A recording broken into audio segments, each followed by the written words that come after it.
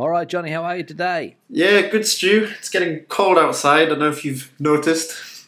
I have noticed the cold nights, especially. The days are fantastic, but the Yeah, the nighttime temperatures have really dropped.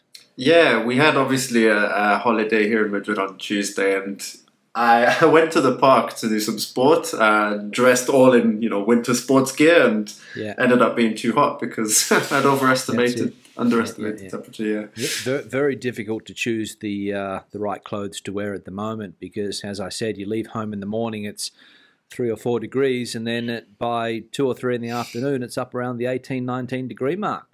Exactly. Yeah, easy to catch a cold as well as a result. Very easy to catch a cold. Very easy to catch a cold, which was your situation last week, I think, was it, It, not? it was indeed. Yeah. That's yeah. it. That's it. All right, good. What's on the agenda, Johnny? All right, so let's talk about Spain's economic recovery to begin with. So, whereas the rest of the eurozone economies uh, have are expected to recover to their pre-pandemic levels uh, by the beginning of 2022, Spain is the only economy uh, that's been flagged that won't reach those targets, unfortunately. Yeah. And what are they saying are the reasons for this? Yeah, so they're saying obviously Spain's heavy reliance on tourism, um, course, not just Spain, but the southern European economies and also the supply chain issues. But it also highlights countries like Greece, which are also very reliant on tourism, that are still going to recover to their pre pandemic uh, GDP Yeah. levels as well. And Portugal also? Yeah, I, I didn't see Portugal mentioned, but I would I would imagine so as it's not mentioned. Yeah. Yeah, I don't know. I, there was an article in the Financial Times. Is that the one that you are referring to? I saw that one. I was reading into the um, El Economista uh, article. Okay, all right, yeah. good, good. And there's Yeah. a lot of um, uh, they're hinting at the the government's inability to to um, what's the word to uh, to get the economy cranking again. I think that's that's what I've been reading. Right, a lot of economists are worried that the government's taking too long to get these European funds or distribute the money, and that could be one of the reasons for the um, for the for the for the for the lag. Yeah, that was another point mentioned as well the delay in receiving and uh, making use of the European funds. Yeah. Yeah, yeah, yeah, yeah, yeah. So there is a fair bit of criticism being um, um, being uh, pointed at, at the government at the moment. Despite, well, not only the opposition parties here in Spain, which are you know that's that's their job, but as I said, the Financial Times uh, is on the on their back. Some German economists today also said that they don't trust Spain to spend the money uh, correctly and do the things that they need to do. So there is a lot of criticism coming from the north of Europe, and yeah, the government is under the pump, under pressure. Yeah, well, I think that was a, a sticking point earlier on when these funds were being negotiated as well, particularly countries like the Netherlands and some Yeah. of the Nordic countries maybe were skeptic of the, the southern European countries' um, spending decisions um, and how they were well, going to use the budget. Yeah. Well, they always had, they have been for a long time, and Spain. If we go back to the last crisis, which I don't think it was as bad as this one back in 2008, Spain took a really long time to get out of it because of bad decisions that were made at the beginning. You know, um, the prime minister in charge at the time was also a socialist prime minister, Mr. Zapatero, and you know, history will tell us that he made some bad decisions, and it took a long time to recover. And the structural changes that the government uh, has been told that it needs to do, very hard to get things done here because they call them the the social partners. You've got the unions, you've got the business lobbies, and nobody can agree basically, Johnny, and that's why things take a long time. You know. Yeah, it somewhat somewhat sounds like what uh, goes on in France as well. That's been my experience in France. Whenever Could be. well, to make to- change. to- well, to give an example, the, the labour market reform. So, um, the last financial crisis, Spain was told that the labour market needed to be reformed. So, it didn't get reformed until 2015. And now the government's talking about getting rid of all of those changes and going back to what it was before. So, this is what we're dealing with, Johnny, and this is where that skepticism comes from, I think. Yeah, yeah, I see, I see. And the example that you mentioned there, France, if Macron tries to do anything, people take to the streets uh, in huge numbers, which make it almost impossible to do. And although you don't get that social protest here, those uh, what, what did I call them before? The social actors Social or part- something? Yeah, The social partners. yeah, They're very influential. Mm. hmm yeah, And that, I think that's I think that's one of the main issues, basically. yeah. It could be. Yeah, Yeah, I don't know, but uh, you don't like to be called a laggard, uh, which is the, which is the word that's uh, being thrown around. yeah. Unfortunately, yeah. That's right. All right, Yeah. good. Anything else? Well, on this one, I think we'll maybe leave it there. But yeah, we'll we'll hope that things do start to get better soon, and that. um, well, yeah, yeah. but you know, I've said on numerous occasions on these videos, Johnny, that I've seen it happen before. I've only been here twenty years, so imagine somebody who's sixty is just going, "Nah, it'll never happen," you know. Uh, so I mean, that's that, that's what we're dealing with, I think. But uh, yeah, I, I I would love to be proved wrong. yeah, yeah. We will see. We'll see. We will. yeah. All right, good. What's next? Next, we have uh, the plusvalía municipal, which I think we said translates to the municipal capital gains tax.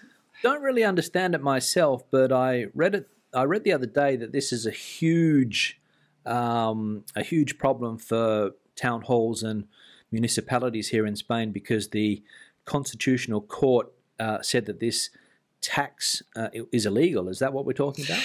So I had a read of it myself, and it is a very quite complex situation to get your head around. Um, so I've read what essentially has been proposed, and it it's not so much the calculation. I don't think which poses the problem. It's rather the means by which the government has brought it into law, which has been deemed unconstitutional. That's my understanding.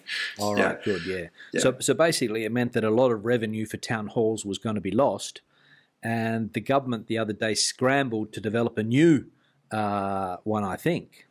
Yeah. So in the old system, my understanding is whenever there was an incremental capital gains on the sale of a property, for example, you would pay tax on the incremental gains. And what this new calculation system does, it proposes two methods. One is um, so when you get your property valued in Spain, you've got what's called the suelo, which is like it essentially represents the you know the the construction of the property rather than the things that inside it. Um, so one of these calculations is based on that value um, multiplied by a determined set of coefficients, depending on how many years you've had the property for when you sell it.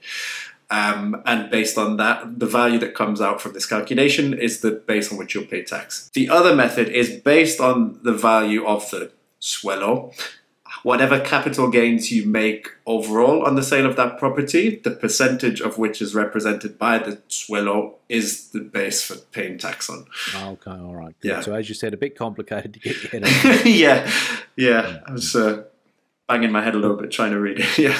But, but basically, a big source of revenue uh, lost, and then, uh, as I said, the government scrambling to get something else to fill its place, right? Yeah, well, this is my understanding. Maybe for the taxpayer, it will cause some savings because you get to choose which of the two calculations is most beneficial for you, um, and you'll probably save some tax money as a result. But like you say, um, in pri- in the prior calculation, you know, um, town halls make a, quite a lot of money on the tax um, that was paid on on those gains. So yeah, like Well, you say, right, lost yeah. revenue. Well, that's right. Yeah, the the main source of funding for town halls, apart from the the uh, IBI as it's called here, the um, the the housing tax, of course, is this uh, plusvalía, of course, because construction has been uh, something that's been very, very uh, common in a lot of places over the last 10, 15 years and a huge source of revenue for town halls.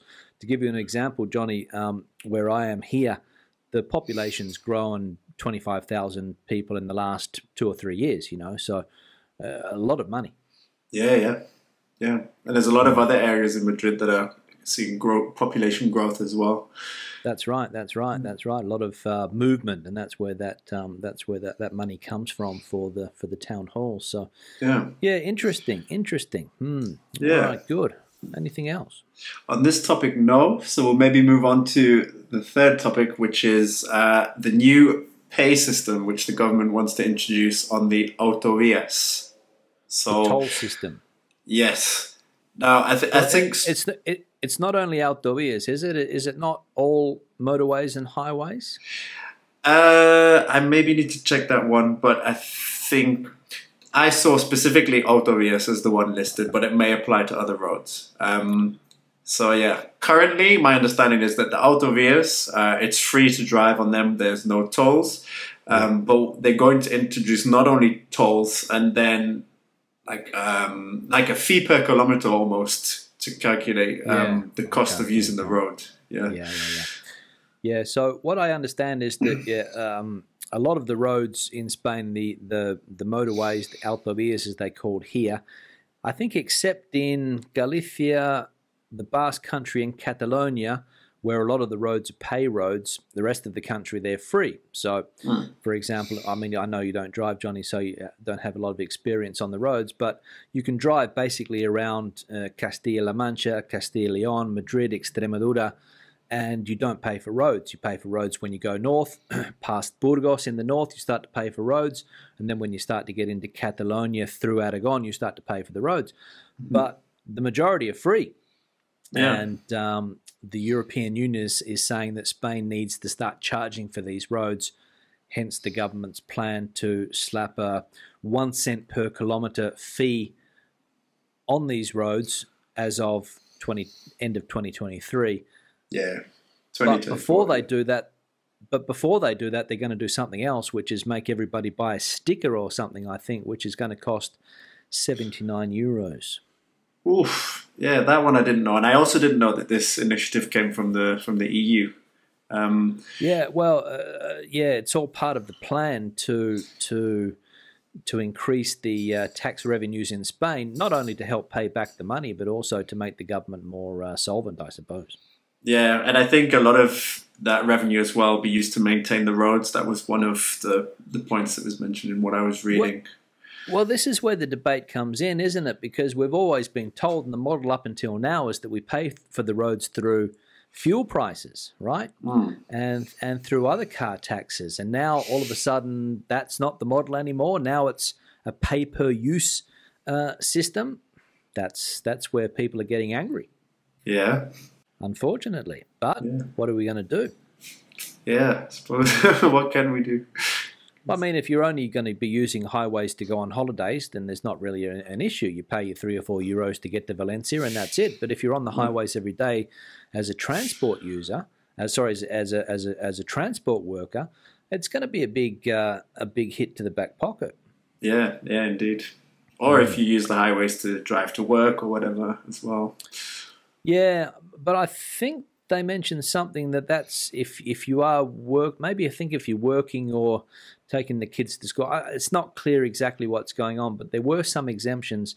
But um, a lot a lot of uh, a lot of extra charges coming in in the future. Mhm, yeah. Yeah, And as I said, people are not happy, John. yeah. I mean, yeah. If you have to pay more, of course you're not going to be happy. Well, no, that's it. That's it. And with fuel prices skyrocketing, you know, if you have to start paying a charge on roads, then, um, you know, as I said before, a lot of people are angry. yeah, yeah, makes sense. But again, if you haven't got a car, Johnny, it's not going to it's not going to bother you. Yeah, I will maybe keep it that way for now. Yeah. that's it. That's it. Yeah. All right. Did they say anything else about this or not? I think I've captured all the points there.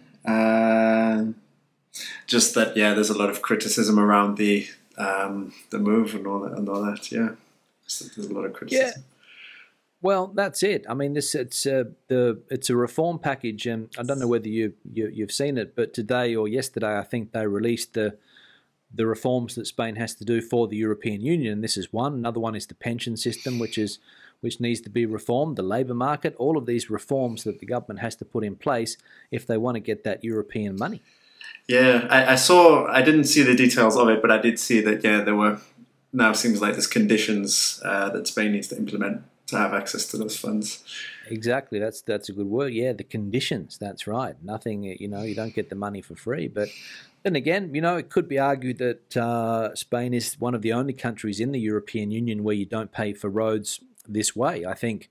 I think in France there's tolls on the majority of roads. Portugal has tolls on the majority of roads. Spain has been fairly toll free, at least as I said, in the majority of the country. But uh, another unpopular move. Yeah. Uh, and it's all going to be how the government sells it, I suppose, to the to the population. So, but what I'm hearing at the moment is that people are not happy. But we'll see. Same, yeah. All right, good. Anything else, Johnny? That was all for this week, Stu. All right, good chat again. We'll be in Likewise. contact. Yes. Speak to you All later. right, see you later. Good day. Bye bye. Bye.